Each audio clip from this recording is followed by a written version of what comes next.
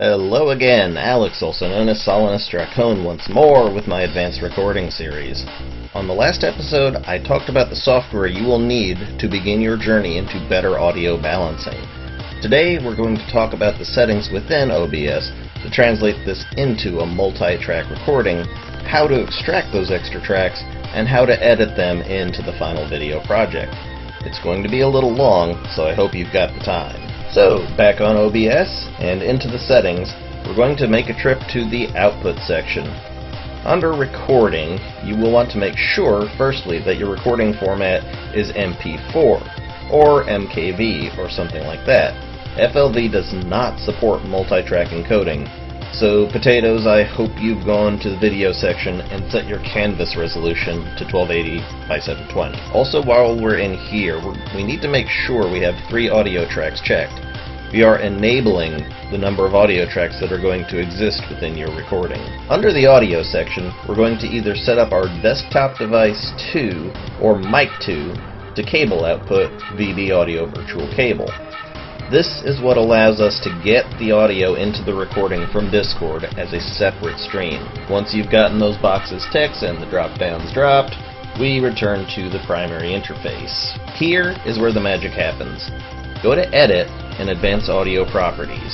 Here you'll probably see all the boxes checked for all the tracks.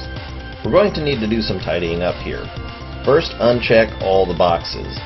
Now then, I suggest we set our mic 1 as track 1 only, mic 2 as track 2, and desktop audio as track 3.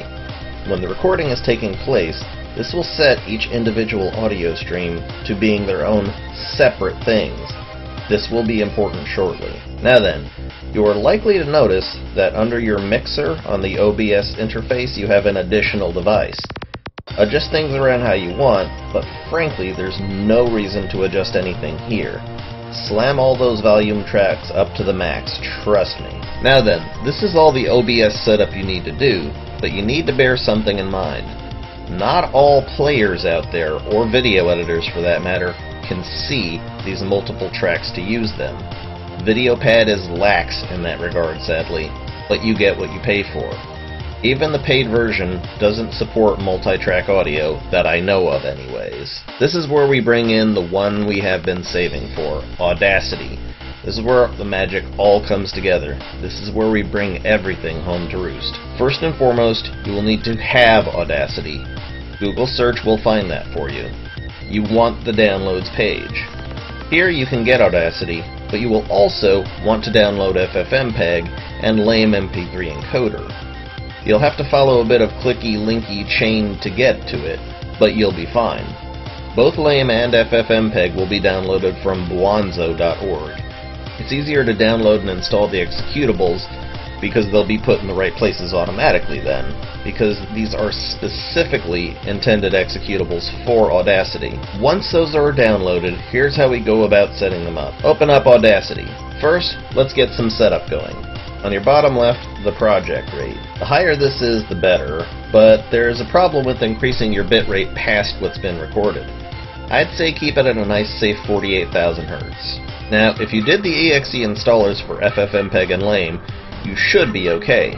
But just to be double sure, go to Edit, Preferences, and then Libraries. If your MP3 library and FFmpeg library both say the current versions, great, you're done. Now then, now now now, where does this leave us, you might wonder? Well, now is the time we can bring everything full circle. Go ahead and record some gameplay while chatting with a friend. If everything is right, then your mic track volume will be jittering when you speak, your desktop audio will be jittering with your game music, and your mic 2 will be jittering with your friend's voice. Please note, you are not free from having to adjust the volume of the game in order to clearly hear your friend. Use a Windows volume mixer for that if you're wise. Just adjust it so you're comfy how loud the game is versus how loud your friend sounds. I promise, when we get to actually using Audacity, everything will be fine. That's a mighty big shield you're carrying there, mister. Mrs. Yes, Something. that is that is the Boulder side shield. I've got Kailo the NES Man with me. Kailo the NES Man, check his channel out, link in the description. Kailo's a good long time. Aw, Kailo's a long time friend of mine, and he's actually benefited a bit from some of my specialized settings. So, I when have? you- yeah, uh, bitch. I'm sorry. You benefited. So, what we're going to do here is I'm just going to have Kailo hang out with me for the purposes of just getting his voice on things. And nice. And you know you need to you need to stream this or record it with me watching because I like me playing this game. Oh well, we'll have to do that sometime. There's actually a Dark Souls remaster coming out, but let's let's just see your reactions. Let's see your reactions oh. to this particular boss. Oh my goodness, I can't wait. This is this because I know Dark Souls is hard as hell. Oh, oh shit! Oh oh oh oh my goodness. This, That's not something I'd want to get fucked by. this is called the Gaping Dragon. The ga- oh my god, those teeth! Oh shit! The Gaping Dragon knows only hunger. I, I, I imagine so. But who's that thing with you? I saw a shadow disappear. Oh, that's Like, just one one, the the. left. Yeah, that's sort of a game world thing. Like, you know, if you're online, then you'll randomly see, like, just the shadows of other players doing their thing. You could never, ever get me to play this game. I'm wrapped up in Final Fantasy XIV, and that's where it's going to stay. Oh my god, the tail. Yep, I chopped the tail off because that can be a problem. I, I, see, I see that. He could use it to swipe at me. But believe it or not, this is actually one of the easiest, ridiculously easiest battles, boss battles in this game. Oh yeah. I can imagine this dude singing, I'm afraid of getting thinner, won't you please become my dinner? I, I wonder. I wonder if he's gonna. I wonder if he's gonna vomit. If he, I wonder if he's gonna do the barf thing. Oh no, Oh, no. it looks like he's uh, to do the bar thing? No. No. That's ugly. That's ugly.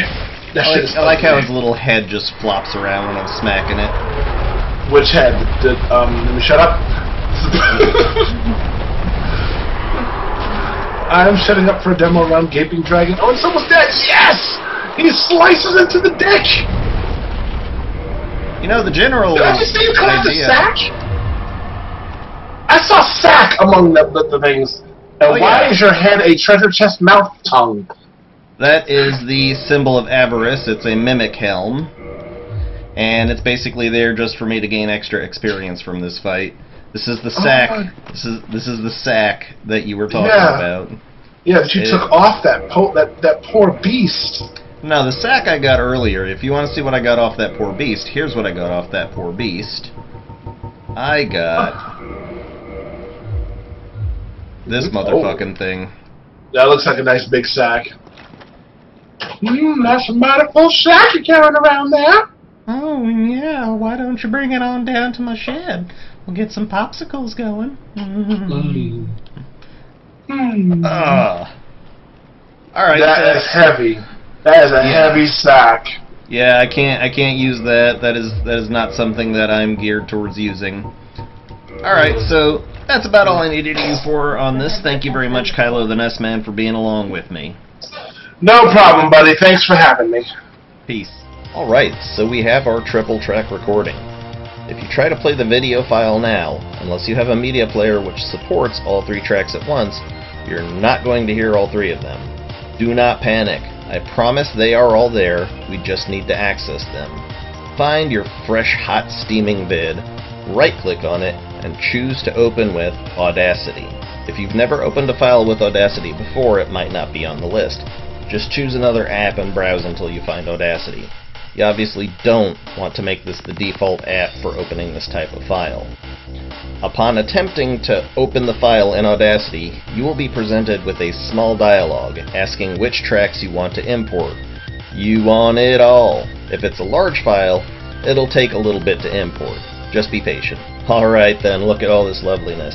Isn't it amazing? Okay, fine, you might be wondering what I'm on about. Here, for you to see, are all the three tracks from your recording session. If you set the tracks as I suggested in OBS, you'll know that the first track is mic 1, yourself, the second track is mic 2, your friend, and the third is the desktop audio, meaning your game. If you just did a solo recording session, then you can either avoid importing track 2, Or when you have, simply exit out of the project, this little button right here. As you can see, this method accounts for everything. So you might want to consider doing a tiny bit of cleanup here. This is what I do to all my recorded files. First, you want to clean up any noise that might be happening on your track and your friend's track. It'll be a good idea to mute the two other tracks while doing this. Start off by selecting a small section of shallow fuzziness between the big spikes. Listen to it. Is it just random background noise? If so, then we'll want to remove that noise. With your section of tracks selected, go to Effect, and then go to Noise Reduction. First, click Get Noise Profile. Once that's done and the window has closed out, click somewhere on the left of the track involved, like where it says mono 48,000 Hz yada yada. That highlights the entire track. Now, go back to Effect, then back to Noise Reduction. I personally like to set the noise reduction value to 12, but that's up to you and your tastes. Remember, if you have a game or other type of background audio going on in the video, oftentimes it will be louder than your background noise. Anyhow, click OK and there'll be a few moments of processing. Once that's done, you'll see that the shallower bits between where you speak have become less shaggy. Play that same section over again. Still a bit too noisy for you? Well, you can undo and try another noise reduction pass, this time with the noise reduction set a teensy bit higher, but remember what I said, a lot of the time your desktop audio will be loud enough to mask it. Do the same for your friend's track.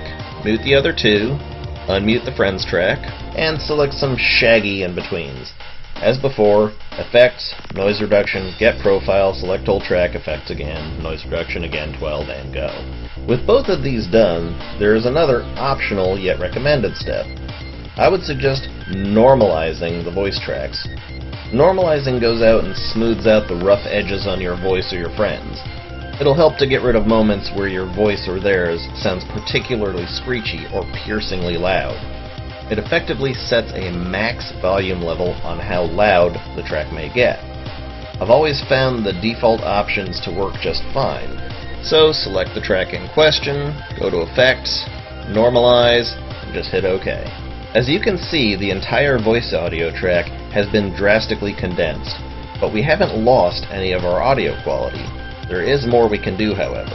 If it just so happens that a certain someone was snorting or coughing or otherwise making noise in the background, and you don't want that on your video, you can remove it. It is critically important that you pay very close attention to what I am about to say.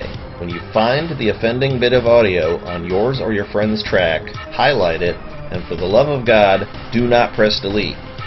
Okay, you can undo a delete, but you do not want to go just deleting sections of the track. Instead, what I suggest is just calmly and gently highlight the noise you want out and just press Ctrl L. There, that's just silenced that bit of track.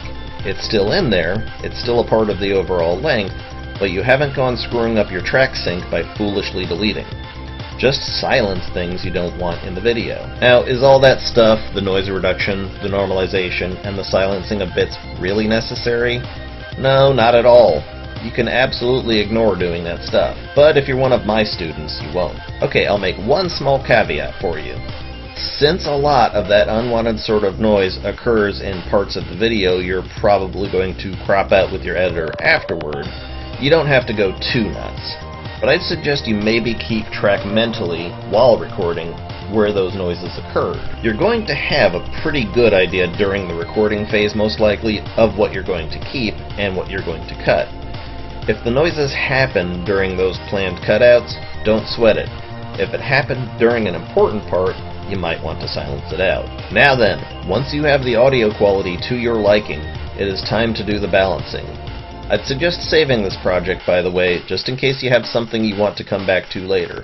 Save first, save often, save repeatedly. To balance, just play with all three tracks unmuted, using the gain slider for each track, uh, adjust gently down in increments of 1 decibel until you're comfy with it.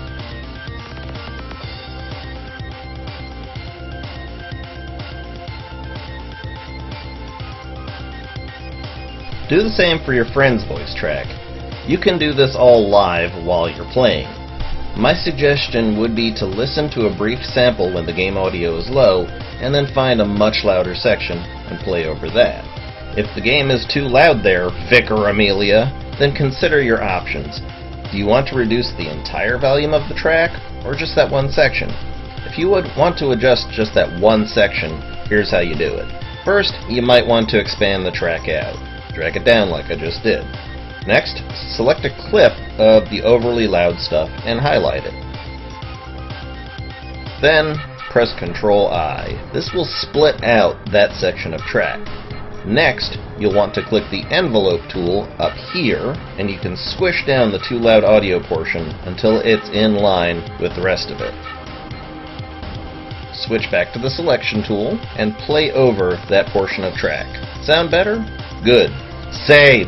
Cardinal rules, so important, much pay attention to. Wow. It is a bad idea to adjust gain up. No good comes from trying to upscale. I've told you this before. Always leave the lowest volume audio track as is. This is more likely than not to be your game audio, but it's not unheard of for it to be otherwise. If it is otherwise, then something probably went wrong during recording, and you should have caught that earlier. Shame on you. Oh well, if it can't be helped, it can't be helped. Adjust volumes down to incorporate all three tracks. The goal is to have your voice and your friend's voice be the same volume, and for the game audio to be audible just beneath them. You don't want it too low, but you don't want your conversation to be completely obscured by what's going on in the background either. Don't forget to unmute the tracks. Okay, once you're satisfied that everything is to your liking, and you've made sure you've unmuted all the tracks, it's time to export that bad boy. If you happen to have a good video editor that doesn't crash when trying to export from MP3 to MP3, then export as MP3, with the quality as insane as it gets. If you are using VideoPad Free Edition and you happen to have the lame.exe bug, then you want to export as WAV 32-bit float, please. By the way, if you've done a bunch of episodes as a marathon sitting, either with your friend or alone, then the exact same gain settings will usually be just fine for each subsequent audio project. If anything changes, or if you want to be super safe, double check your adjustments and readjust accordingly. Put it somewhere you know you can find it. Hopefully your organizational skills are on point, and kick back while it exports. It rarely takes very long. Okay, we're running short on time, but I'd be a bad teacher if I left you in a spot like this with nowhere to go. So I'm just going to show you how to cut in your new amended audio track in VideoPad. Start by importing all your files, including your fresh MP3 or WAV file. Lay down your video file, right-click, and choose Unlink from Video, or Audio, depending upon which one you're focusing on. Then proceed to delete the existing audio track. Next, Bring down the polished audio track and line them up. The next bit is important if you use an outro as I do. Zoom in all the way and jump to the end of the video. You'll notice that there is just a tiny bit more video than audio, or sometimes more audio than video. It's much less than a frame, but it is a difference, and it can result in your outro being weird. Just click on the exact spot where these two mix, split, and delete the offending bit of extra cancerous content. Then select both the audio and video tracks, right click and choose Group Selected Clips. Now these two are joined again, and when you go to split and chop things out, you don't have to individually select each one and delete both every stinking time. Of course, go ahead and toss in your intro or outro as applies, do your editing, and export as I've shown you in the basics. If you happen to have the full version of VideoPad, this would be a great time for lossless export, as long as you haven't dragged in any external video clips, which would result in audio desync, which would be bad. And there you have it, ladies and gents, the Advanced series. Definitely shorter than the Basic series. It is to be hoped that you have watched them all. Even the pros can benefit from going back to basics once in a while. If you're already old hat at recording, I hope you found some value in my teachings. I've been doing this for over three years, and these videos represent the current culmination of my practice, my knowledge, my experience in producing content. Do I do it better than anyone else? Of course not. Do I do it better than most? Probably not that either. But I do seek out the easiest options within a budget. And that's it, the end of my recording tutorials. Of course, anytime I come upon a fix for a known bug, anytime something new comes out with any of these that needs to be mentioned, anytime that there's any kind of change to how I do things, I will put something out explaining the fix or change. So I uh, hope you'll stay tuned for that. I want to thank you all very much for watching. Please, please don't forget to like, subscribe, and leave a comment. Once again, I am Alex, also known as Solanus Dracon, and this has been my advanced recording series. Goodbye!